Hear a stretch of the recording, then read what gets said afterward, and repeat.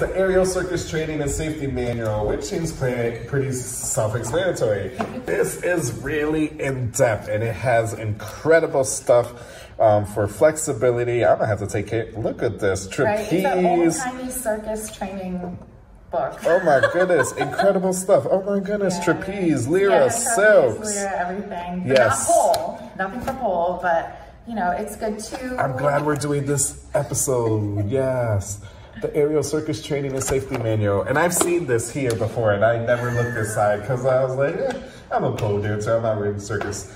But now that I've tried Lyra and Silks, and I love it, yes. Right, and it can inspire you for movement on the pole as well. Yes, definitely.